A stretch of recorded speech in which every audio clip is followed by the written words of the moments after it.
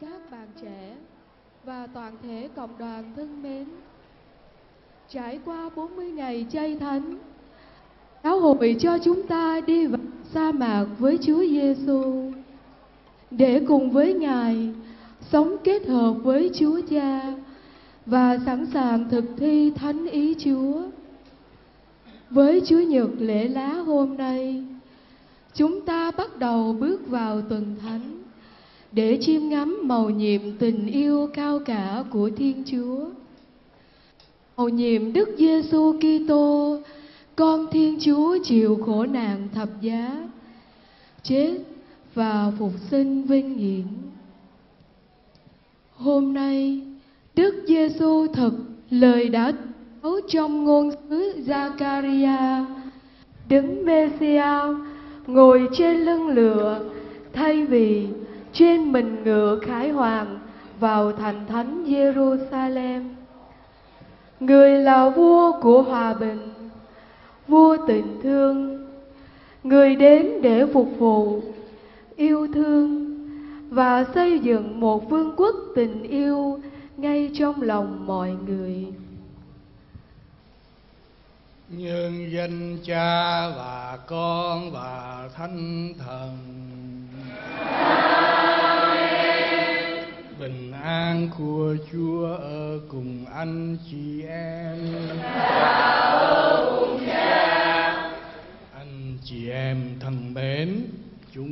tụ họp nơi đây để cùng toàn thể giáo hội khai mạc tuần thánh tưởng niệm mầu nhiệm vượt qua, tức là cuộc thương khó và phục sinh của Đức Kitô. Để chuẩn bị tuần thánh trong suốt mùa chay, chúng ta đã cầu nguyện, thống hối, chia sẻ tình thương và cơm áo cho nhau. Chúa Nhật lễ lá hôm nay là ngày kỷ niệm đứng cứu thế vào thành thánh Jerusalem để hoàn tất mầu nhiệm vượt qua, đem lại cho loài người ơn cứu độ. Chúng ta hãy đem cả niềm tin mà hăng hái bước theo người. Xin người ban ơn để chúng ta thông phần đau khổ người đã chịu trên thập giá, hầu được chia sẻ vinh quang phục sinh và sự sống của người. Lạy Thiên Chúa toàn năng hằng hữu, xin thanh hiên những cành lá này để chúng con cầm mà hoan nghênh Đức Giêsu là vua chúng con. Xin ban cho mọi người chúng con đây là tin hữu Chúa được theo người vào thành thánh Jerusalem vĩnh cửu, người hằng sống và hiến trì muôn đời.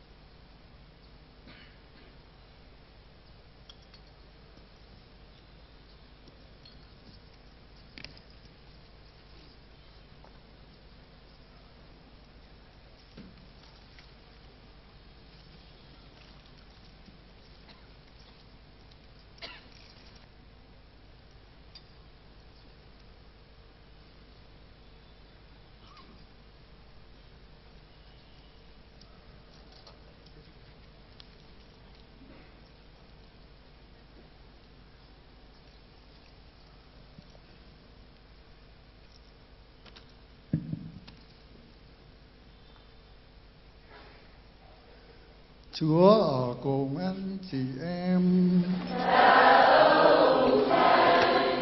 Tin mừng Chúa Giêsu Kitô theo thánh Marco.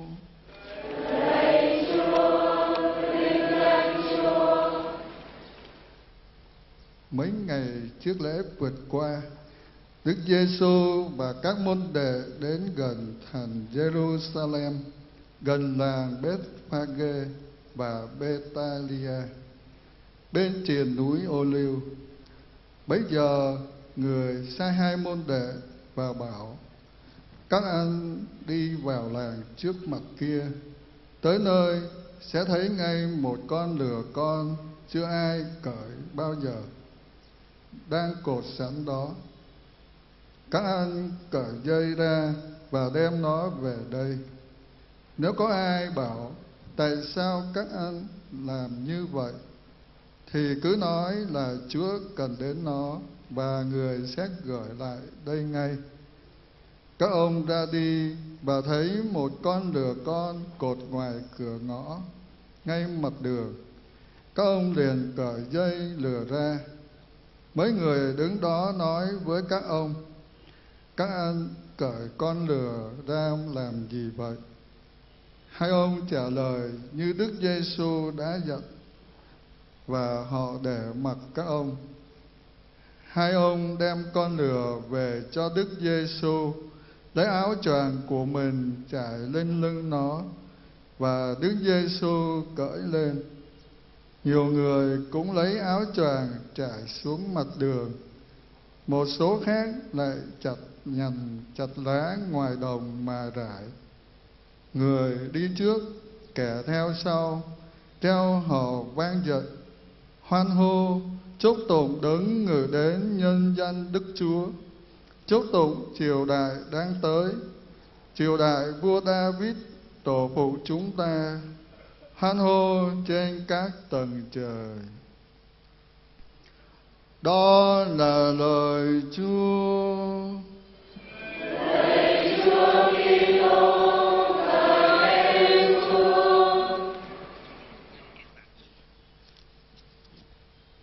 Anh chị em thân mến, chúng ta hãy noi gương dân thành Jerusalem mà hoan hỷ lên đường nghênh đón Đức Kitô.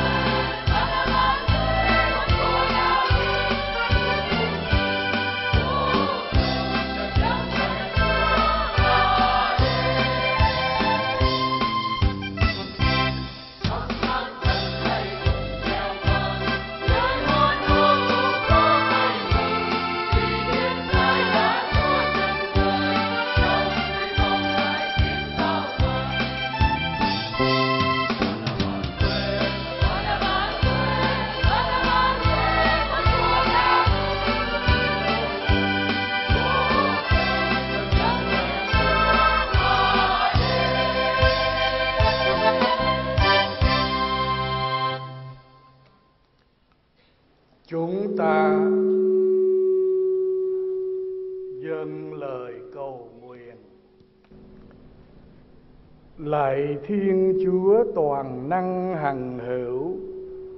Chúa đã muốn cho đứng cứu chuộc loài người, phải sống kiếp phàm nhân và chịu khổ hình thập giá để nêu gương khiêm nhường cho thiên hạ noi theo. Xin cho chúng con biết đón nhận bài học người để lại trong cuộc thương khó và được thông phần vinh quang phục sinh với người. Người là thiên chúa hằng sống và hiến tri cùng chúa hiệp nhất với chúa thánh thần đến muôn thuở muôn đời.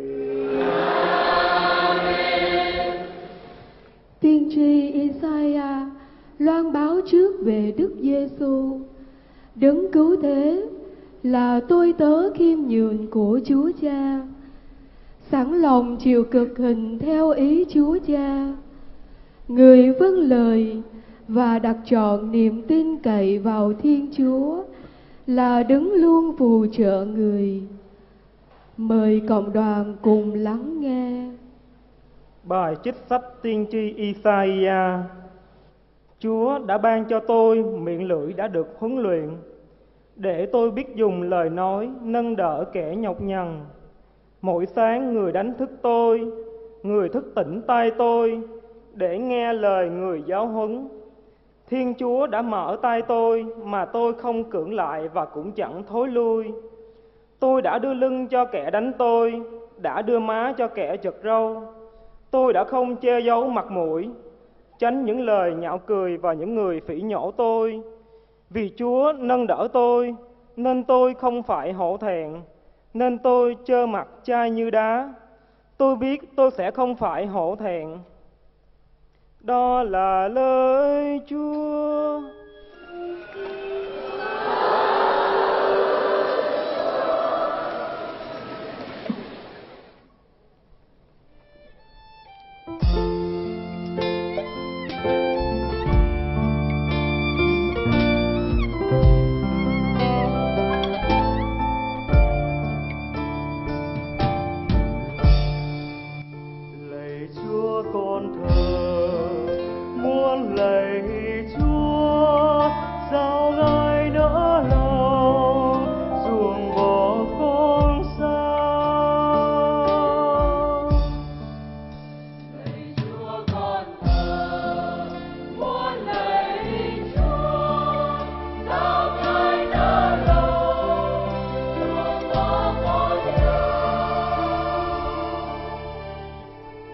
Sâu bò chứ người đâu phải con bi đời mắng chửi dễ ruồi thấy con ai cũng chê cười lắc đầu biểu mõ buông lời mỉa mai nó cây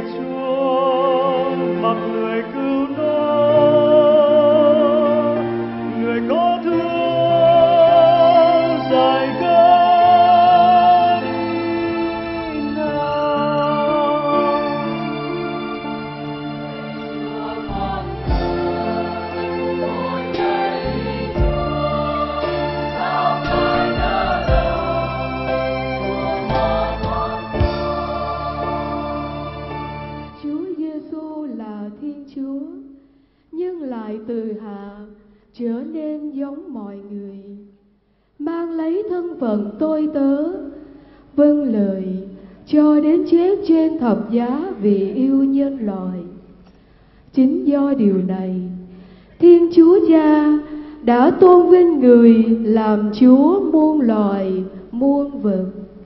Đó là ý nghĩa đoạn thư sau đây. Bài trích thư Thánh Phaolô tông đồ gửi tín hữu Philippe. Chúa Giêsu Kitô tuy là thân phận Thiên Chúa đã không nghĩ phải dành cho được ngang hàng với Thiên Chúa. Trái lại, người hủy bỏ chính mình mà nhận lấy thân phận tôi đòi đã trở nên giống như loài người với cách thức bề ngoài như một người phàm Người đã tự hạ mình mà vâng lời cho đến chết và chết trên thập giá. Vì thế, Thiên Chúa đã tôn vinh người và ban cho người một danh hiệu vượt trên mọi danh hiệu để khi nghe tên Giêsu, mọi loài trên trời dưới đất và trong địa ngục phải quỳ gối xuống và mọi miệng lưỡi phải tuyên xưng Đức Giêsu Kitô là Chúa để Thiên Chúa Cha được vinh quang. Đó là lời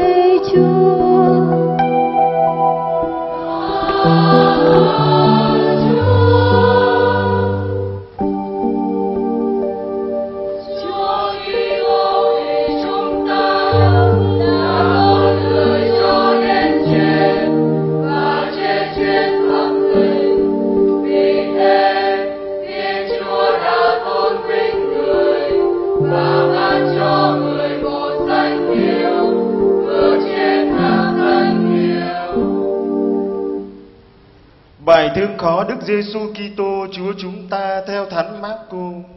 Hai ngày trước lễ vượt qua và tuần lễ ăn bánh không men, các thượng tế và luật sĩ tìm mưu bắt giết Chúa Giêsu. Khi Chúa đang dùng cơm ở Betania trong nhà ông Simon Tật Phong, thì có một người phụ nữ mang đến một bình ngọc đựng dầu thơm rất quý giá. Đập vỡ bình, bà đổ dầu thơm lên đầu người. Có mấy người khó chịu nghĩ thầm rằng, làm gì mà phí dầu thơm như vậy? Dầu này có thể bán được hơn 300 đồng bạc để bố thí cho kẻ nghèo khó. Và họ nặng lời với bà đó. Khi ấy, Judas Iscario, một trong nhóm 12 đến tìm các thượng tế để tình nguyện nộp người cho họ. Nghe vậy, họ mừng rỡ và họ liền hứa cho nó tiền, và nó tìm dịp thuận tiền để nộp người. Ngày thứ nhất trong tuần lễ ăn bánh không men là ngày giết chiên mừng lễ vượt qua, các môn đệ thưa người. Thầy muốn chúng con đi dọn cho thầy ăn lễ vượt qua tại đâu? Người liền sai hai môn đệ đi và dặn rằng, Các con hãy vào thành, và nếu gặp một người mang vò nước thì hãy đi theo người đó. Hễ người ấy vào nhà nào thì các con hãy nói với chủ nhà rằng, Thầy sai chúng tôi hỏi, căn phòng ta sẽ ăn lễ vượt qua với các môn đệ ở đâu? Và chủ nhà sẽ chỉ cho các con một căn phòng rộng rãi, dọn sẵn sàng, và các con hãy sửa soạn cho chúng ta ở đó. Đang khi họ ăn, Chúa Giêsu cầm lấy bánh, đọc lời chúc tụng, bẻ ra và trao cho các ông mà phán. Các con hãy cầm lấy, này là mình ta. Rồi người cầm lấy chén, tạ ơn, trao cho các ông và mọi người đều uống. Và người bảo các ông, Này là máu ta, máu tân ước sẽ đổ ra cho nhiều người. Ta bảo thật các con, ta sẽ chẳng còn uống rượu nho này nữa cho đến ngày ta uống rượu mới trong nước Thiên Chúa. sau khi hát thánh vịnh, thầy trò đi lên núi cây dầu. Chúa Giêsu bảo các ông, Đêm nay tất cả các con sẽ vấp phạm vì Thầy, vì có lời chép rằng ta sẽ đánh chủ chăn và đoàn chiên sẽ tan tác. Nhưng sau khi Thầy sống lại, Thầy sẽ đến xứ Galilea trước các con. Phêrô thưa người, Dù tất cả vấp phạm vì thầy, nhưng con thì không. Chúa Giêsu bảo ông, Thầy bảo thật con, hôm nay nội đêm này, trước khi gà gáy hai lần, con đã chối thầy ba lần. nhưng Phêrô càng lên giọng cương quyết hơn mà rằng, Không, dầu phải chết với thầy, con cũng sẽ không chối thầy. và tất cả đều nói như vậy. Đi đến một vườn kia tên là Gethsemane, người bảo các môn đệ, Các con hãy ngồi lại đây trong khi thầy đi cầu nguyện. rồi người đem theo Phêrô, Giacôbê và Gioan theo người, và người bắt đầu kinh sợ và buồn sầu. Người liền bảo các ông, Linh hồn thầy buồn đến chết được. Các con hãy ở lại đây và tỉnh thức. Tiến xa hơn một chút, người phục xuống đất và cầu xin, Nếu có thể được thì xin cho qua khỏi giờ này. và người nguyện rằng, Abba, lạy cha, cha có thể làm được mọi sự. Xin cất chén này khỏi con, nhưng không theo ý con muốn, một theo ý cha. Người còn đang nói thì Judas Iscario, một trong nhóm 12 đến, cùng đi với một toán đông mang gươm giáo và gậy gộc do các thượng tế, luật sĩ và kỳ lão sai đến. Trước đó, tên phản bội đã ra hiệu cho chúng rằng Hễ tôi hôn mặt ai, thì đó chính là Ngài. Các ông cứ bắt lấy và điều đi cho cẩn thận. vừa đến, nó liền tới gần người mà nói, Chào Thầy. và nó hôn người, và chúng cha tay bắt người. Khi ấy, thầy thượng tế đứng lên giữa công nghị hỏi Chúa Giêsu rằng: Sao ông không trả lời gì về những điều các người này tố cáo ông? Nhưng người vẫn thinh lặng và không đáp lại gì. Thầy thượng tế lại hỏi: Ông có phải là đấng Kitô, con Thiên Chúa đáng chúc tụng chăng? Chúa Giêsu đáp: Phải, chính ta. Rồi các ông sẽ thấy con người ngồi bên hữu đứng toàn năng và ngự bên hữu trên đám mây. Thầy thượng tế liền xé áo mình ra và nói: Chúng ta còn cần chi đến nhân chứng nữa. Các ông đã nghe lời nói lộng ngôn, các ông nghĩ sao? Phêrô đang ở ngoài sân tiền đường thì có một đầy tớ gái của thầy thượng tế đến, thấy Phêrô đang sưởi thì nói: Ông cũng theo Giêsu người Nazareth. Nhưng ông chối phát mà rằng, Tôi không biết, tôi không hiểu cô muốn nói gì. rồi ông đi ra ngoài phía trước tiền đường và gà liền gáy. Lần nữa người đầy tớ thấy ông liền nói với những người xung quanh rằng, Ông này thuộc bọn đó. nhưng ông lại chối. Một lúc sau, những người ở đó lại nói với Phêrô rằng, Đúng ông thuộc bọn đó, vì cả ông cũng là người Galilea. ông liền nguyện rủa nặng lời và thề rằng, Tôi không biết người mà các ông nói đó. Tức thì gà gáy lần thứ hai và Phêrô nhớ lại lời Chúa Giêsu đã bảo ông trước khi gà gáy hai lần, con đã chối ta ba lần và ông liền than khóc. Phi La Tô hỏi người, Ông có phải là vua dân Do Thái không? Chúa Giêsu đáp Ông nói đúng. và các thầy thượng tế tố cáo người nhiều điều. Sau cùng Phi La Tô muốn vừa lòng dân, liền tha cho Ba-ra-ba và trao Chúa Giêsu cho chúng đánh đòn và đóng đinh vào thập giá. Chúng mặc áo choàng đỏ cho người, rồi quấn một vòng gai trên đầu người, đoạn chào người rằng, Tâu vua dân Do Thái. rồi chúng lấy cây sày đánh đầu người, khạc nhổ vào người và quỳ gối chiều bái người. Vào lúc giờ thứ ba, chúng đóng đinh người vào thập giá, và có bản án ghi rằng, vua dân Do Thái, từ giờ thứ sáu tới giờ thứ chín, tối tăm bao trùm toàn thể lãnh thổ.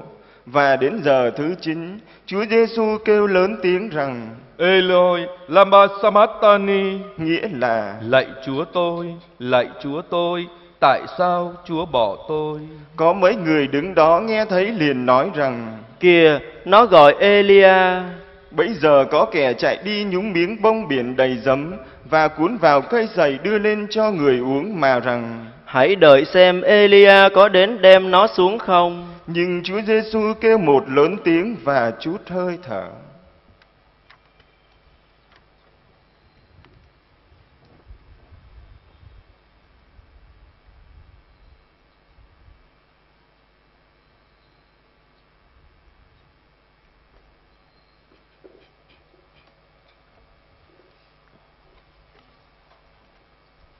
Màn trong đền thờ sẽ ra làm đôi từ trên xuống dưới. Viên sĩ quan đứng trước mặt người thấy người kêu lên và chút hơi thở như thế, liền nói rằng, Đúng người này là con Thiên Chúa. cũng có những phụ nữ đứng nhìn từ đằng xa, trong số đó có bà Maria Magdalena, Maria mẹ của Giacôbê hậu và của Giuse và bà Salome là những kẻ đã theo giúp người khi người còn ở xứ Galilea và nhiều người khác cũng đã lên Jerusalem với người. Trời đã dễ chiều và hôm đó lại là ngày chuẩn bị áp ngày phá bát. Ông Giuse quê ở Arimathea, một hội viên vị vọng trong công nghị, cũng là người trong đời nước Thiên Chúa. Ông mặn dạn đến gặp Phi-la-tô và xin xác Chúa Giêsu. Phi-la-tô ngạc nhiên nghe nói người đã chết. Giuse đã mua một khăn trắng, hạ xác Chúa Giêsu xuống khỏi thập giá, liệm vào khăn và đặt trong mộ đã đục sẵn trong đá, và lăn một tảng đá lớn lấp cửa mộ. Lúc đó, bà Maria và Maria mẹ ông Giuse nhìn xem nơi Chúa được an táng. Đó là lời Chúa.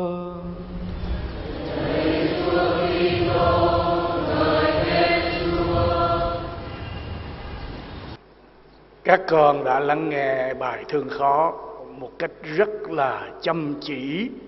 Cha cảm phục các con. Có lẽ các con cũng đã cảm thương Chúa Giêsu đã phải chịu khổ hình, hết sức đau đớn và chết một cách nhục nhã như một người tự tội. Chúa Giêsu lắng sâu trong tình yêu dành cho Chúa Cha, cho nhân loại và cho chúng ta là những kẻ có tội. Một tình yêu vâng phục, chịu đựng tất cả, chấp nhận tất cả, hy sinh tất cả, kể cả mạng sống mình. Trong suốt cuộc khổ nạn, nhất là từ lúc Chúa bị Phi La Tô kết án trước những lời nhục mạ và khiêu khích của những kẻ thù. Chúa Giêsu không nói gì cho tới khi người kêu lớn tiếng Eloi Eloi lama Sabatani, Lạy Thiên Chúa, Thiên Chúa của con, sao người bỏ rơi con? Chúa Giêsu có cảm giác cô đơn và đau buồn đến tận cùng. Những môn đệ thân thiết của người, những môn đệ trong nhóm 12 sau này sẽ là tông đồ thì một người đã bán người nộp người cho quân giữ một người đã chối bỏ người. À, người chối bỏ đó sau này sẽ là thủ lãnh giáo hội. Và hầu như tất cả những môn đệ khác đều bỏ rơi người tất cả đều chạy trốn vì sợ người do thái. Cho nên chúa giêsu có cảm giác cô đơn đến cùng tận. Vì thế mà ngài than thở cùng chúa cha lớn tiếng, lạy cha, nhân sao cha bỏ con? Nhưng Chúa Giêsu vẫn không đầu hàng, không chịu khuất phục trước sự dữ, trước kẻ dữ, trước thần dữ mà vẫn vâng phục Chúa Cha cho đến cùng, vẫn yêu thương nhân loại chúng ta cho đến cùng. Vậy giờ đây chúng ta đáp lại tình yêu sâu thẳm, tuyệt đối và lạ lùng đó của Chúa Giêsu như thế nào? Chúng ta có tin tưởng và phó thác trọn vẹn vào tình yêu của Chúa Giêsu hay không?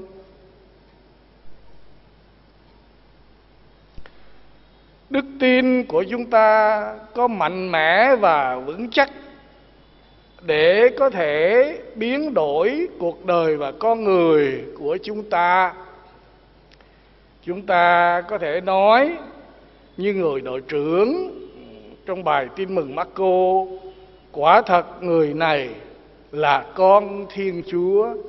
Nói một cách mạnh mẽ và xác tín hay không?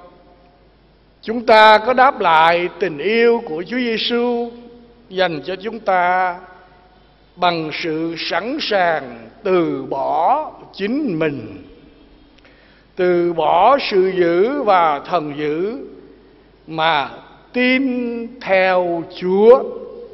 Tin theo có nghĩa không những là tin mà còn theo, đó có nghĩa là noi gương Chúa, trở nên giống Chúa, đồng hình đồng dạng với Chúa.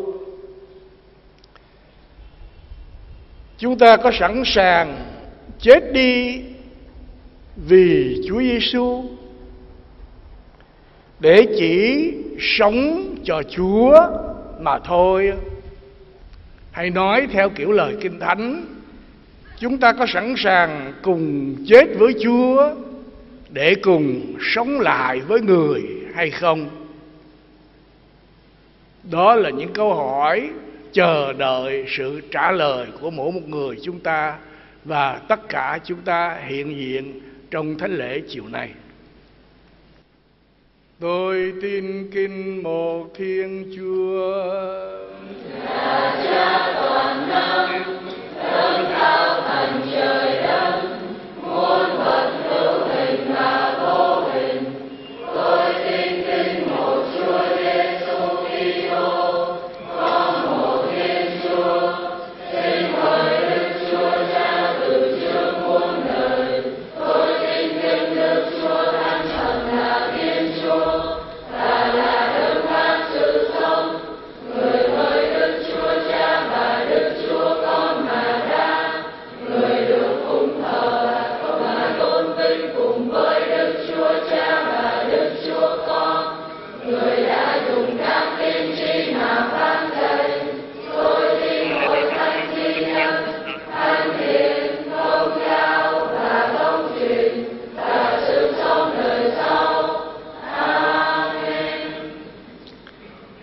Anh chị em và các bạn trẻ thân mến, Chúa Nhật lễ lá khai mạc tuần thánh tưởng niệm việc Chúa Giêsu vào thành Jerusalem cách trọng thể và hoàn tất công trình cứu độ. Trong tâm tình tín thác, chúng ta cùng dâng lời nguyện xin. Phúc thay ai có tâm hồn trong sạch, vì họ sẽ được nhìn thấy Thiên Chúa. Cuộc sống ngày càng phát triển về mọi mặt đã tạo cho người trẻ những cơ hội lớn để khẳng định bản thân và nâng tầm tri thức. Điều đó cũng đặt họ trước một thử thách không nhỏ của việc sống đức tin và loan báo tin mừng trong bối cảnh biến động không ngừng của xã hội, nhất là sự đổi thay về giá trị và quan niệm sống, về tư tưởng và luân lý. Chúng ta hãy cùng cầu xin cho các bạn trẻ để họ luôn được ơn khôn ngoan, giúp họ phân định được đúng sai mà sống theo tiếng gọi của lương tâm. Xin cho họ có đủ đức tin và dũng lực để dám lội ngược dòng mà chọn lối sống sạch với các tương quan, với Thiên Chúa, với tha nhân và với chính mình. Nhờ đó tìm được hạnh phúc đích thực của đời mình và làm chứng cho người giữa lòng thế gian như lời của Đức Thánh Cha Francisco mời gọi. Chúng ta cùng cầu xin Chúa.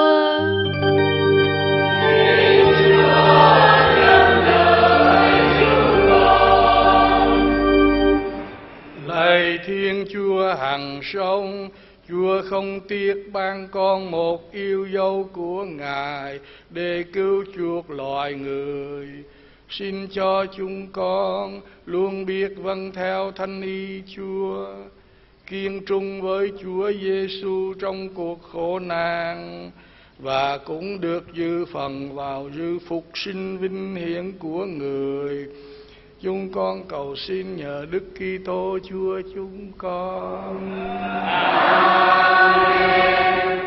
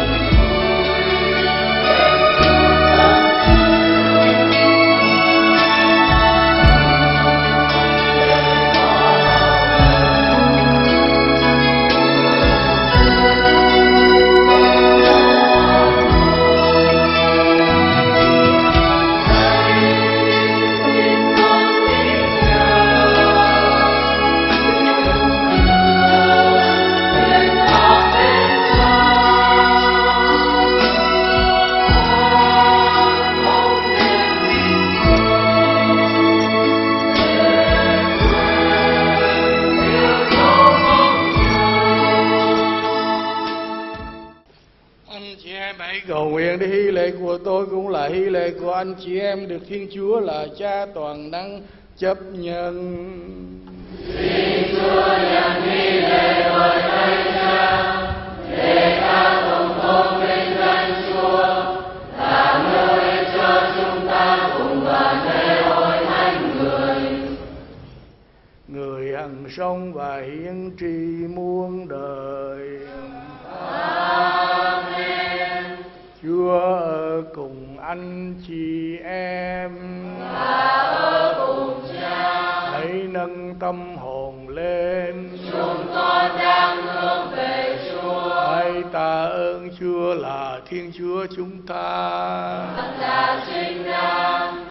Lạy Chúa, Chúa thật là đứng thanh, là nguồn mọi sự thanh thiện.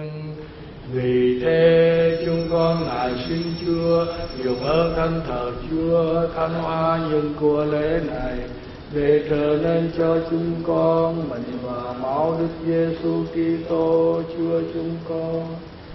Khi tự nguyện nộp mình chịu khổ hành người chồng lấy văn tạ ơn bè ra và trao cho các môn đệ mà nói. Tất cả các con hãy nhận lấy mà ăn, vì này là mình thầy sẽ bị nộp vì các con.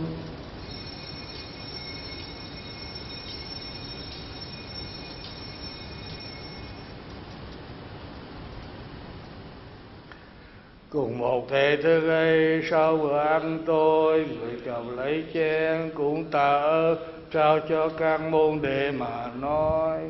Tất cả các con hãy nhận lấy mà uống Vì này là chén máu thầy. Mau giao ước mới và linh kêu Sẽ đổ ra cho các con Và nhiều người được tha tội. Các con hãy làm việc này Mà nhớ đến thầy.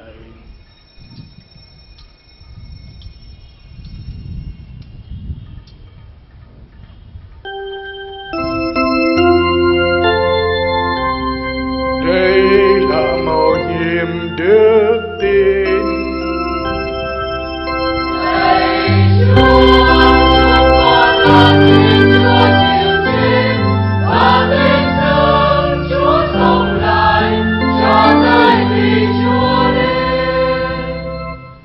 Lạy Chúa xin nhớ đến hội thánh Chúa lan rộng khắp hoàn cầu để kiện toàn hội thánh trong đức mến cùng với Đức Giáo Hoàng Francisco, Đức Tổng Phaolô, Đức Hồng Y Gioan Bautista và toàn thể hàng giáo sĩ.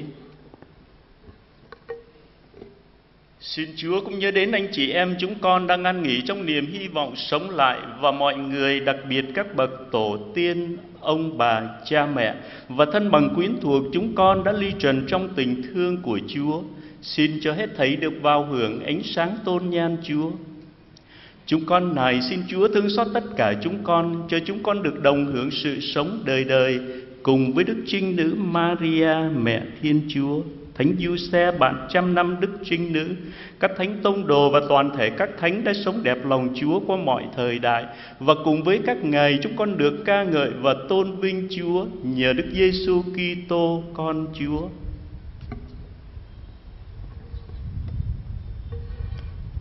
Chính nhờ người với người và trong người mà mọi danh dự và vinh quang đều quy về Chúa là Cha toàn năng trong sự hợp nhất của Chúa Thánh Thần đến muôn đời. Vâng, lệnh Chúa cứu thế và theo thế thức người dạy, chúng ta giam nguyện rằng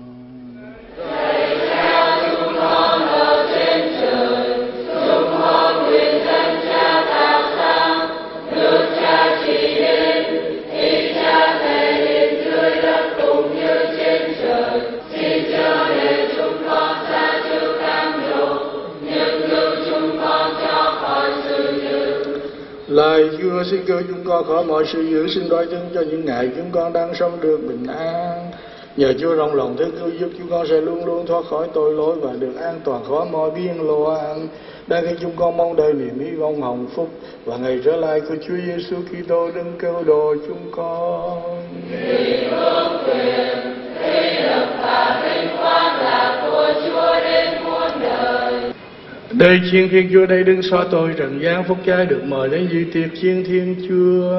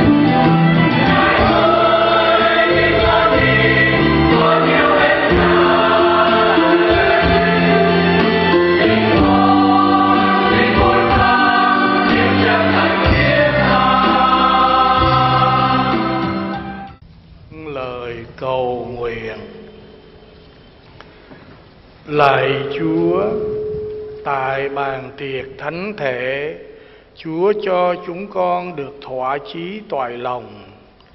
Nhờ con một Chúa chịu khổ hình thập giá, Chúa làm cho chúng con tin tưởng vững vàng sẽ được ơn cứu độ. Thì nhờ màu nhiệm người đã phục sinh, xin cho chúng con đạt tới quê trời như lòng hằng mong ước người hằng sông và hiến tri muôn đời Chúng con kính mời Đức Tổng Quý Cha an tọa đại diện cho các bạn trẻ sẽ có đôi lời cảm ơn đến Đức Tổng và Quý Cha. Phúc thay ai có lòng trong sạch, vì họ sẽ được nhìn thấy Thiên Chúa. Trọng kính Đức Tổng Phaolô, kính thưa quý cha đồng tế, lời đầu tiên chúng con xin cảm tạ Thiên Chúa đã thương ban cho một buổi chiều rất là dịu nắng. Mấy ngày nay thì là Sài Gòn rất là nóng, nhưng mà cái điều quan trọng hơn đó là với bí tích thánh thể và lời Chúa trong thánh lễ đã là nguồn suối mát nuôi dưỡng tâm hồn mà người trẻ chúng con rất cần. Xin Thiên Chúa ban nhiều ân lành cho Đức Tổng và quý cha. Cách riêng, quý cha luôn đồng hành với một vụ với trẻ chúng con. Thưa Đức Tổng, con muốn nói à, ba điều. Điều thứ nhất, đó là hữu duyên. Con nhớ lần đầu tiên Đức Tổng gặp gỡ với trẻ Sài Gòn cách đây 2 năm tại tòa mục. Đức Tổng đã nói đến sống xanh, sống sạch. Và chủ đề của đại hội với trẻ ngày hôm nay cũng là sống sạch. Chắc chắn rằng trong cái sạch này cũng sẽ có cái xanh, điều mà xã hội ngày nay rất quan tâm. Điều thứ hai đó là hữu ý qua bài giảng của Đức Tổng đã lột tả rõ hơn về khát khao của người trẻ là luôn muốn tìm hạnh phúc đích thực. Và để được nhìn thấy Thiên Chúa, buộc lòng chúng con phải lựa chọn cách mạnh mẽ nhất theo tin mừng, đó là sống sạch. Sống theo logic nước trời là nghèo với người nghèo. Một tâm hồn trong sạch nhất thiết cũng là một tâm hồn bị lột trần, một tâm hồn biết cúi xuống và chia sẻ cuộc sống của mình với những người túng thiếu nhất. Trích trong sứ điệp của Đức Thánh Cha Francisco cho Ngày Giới Trẻ Thế Giới lần thứ 30 2015. Điều thứ ba, hữu tình. Đó chính là tình yêu của Chúa Giêsu dành cho chàng thanh niên giàu có. Ánh mắt Ngài nhìn anh và đem lòng yêu mến. Tình yêu của giáo hội, tình yêu của Đức Thánh Cha, cách riêng của Đức Tổng đã dành cho giáo phận Sài Gòn này. Cụ thể hơn, với bài sai sắp tới đây thì cha Công với cha Đức sẽ là những linh mục san sẻ công việc của một vụ giới trẻ với cha Doan đặt cách đây để chăm lo cho giới trẻ về nhiều mặt. Với một thành phố năng động nhất nhì cả nước, cách riêng giáo phận Sài Gòn, chúng con đang rất cần sự quan tâm này. Và xin một tràng pháo tay cho sự ưu ái này.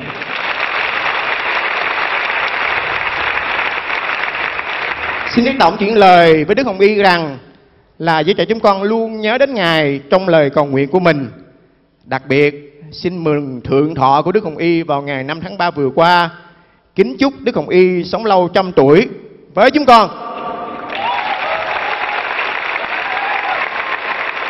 Xin Thánh Giáo Hoàng John Paul II, quan thầy của giới trẻ chuyển lời cầu bầu cho giới trẻ Sài Gòn chúng con và lạy Đức Trinh Nữ Maria đấng đầy ân phúc xin đồng hành với mọi người chúng con và đây là tấm lòng chúng con xin dâng lên Đức Tổng xin Đức Tổng nhận cho và cho cha Diêu An và cha Công. Xin mời. Của thầy to lớn các bạn ơi.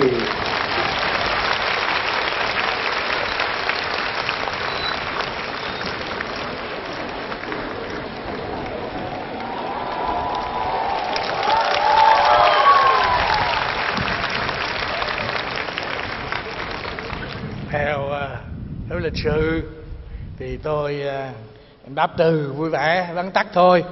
Mặc dầu hôm nay chúng ta đã bước vào tuần thánh à, tuần khổ nạn của Chúa, nhưng mà giới trẻ của chúng ta là cái giới mà luôn luôn cần cái sự năng động, khích lệ, vui tươi, vui vẻ trong bất cứ hoàn cảnh nào. Chính vì thế tôi muốn nói một vài điều hết sức là vắn tắt thôi. Thứ nhất là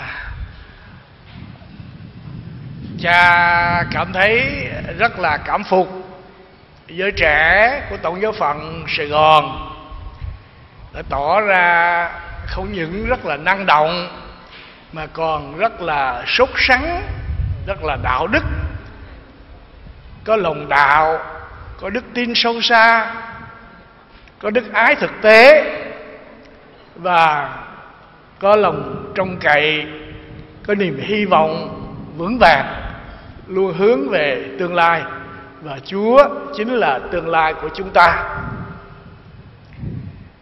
Và cái điều thứ hai, thì cha cũng chúc mừng chúng con, bởi vì chúng con, các con, ban tổ chức và các con đã cố gắng theo sát cái lá thư gửi cho giới trẻ thư phục vụ gửi cho giới trẻ của Đức Thánh Cha để mà thúc đẩy nhau sống hòa hợp, hiệp thông với giáo hội toàn cầu, với Đức Thánh Cha. Một điều hết sức là quan trọng, tuy hết sức là khó khăn trong thế giới hôm nay, nhưng mà chúng con chẳng ngại khó. Quan hộ chúng con. Thôi ờ, đó là có mấy lời rất là đơn sơ, và cái lời cuối cùng là xin cảm ơn ờ, các cha đặt đến giới trẻ.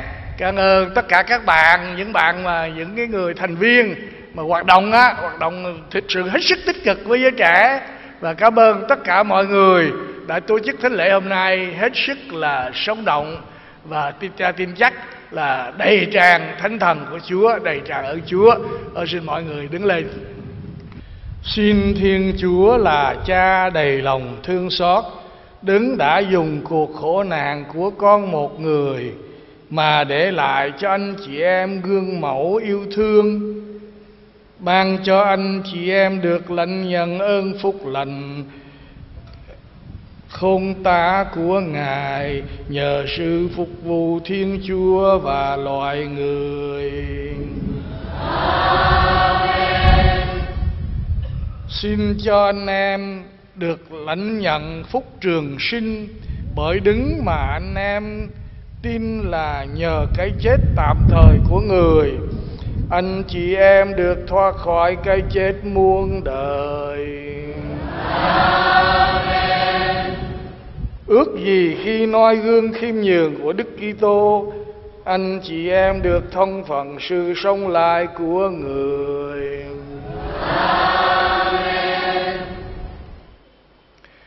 Và xin phúc lành của Thiên Chúa toàn năng là cha và con và thánh thần xuống trên anh chị em và ở lại cùng anh chị em luôn mãi.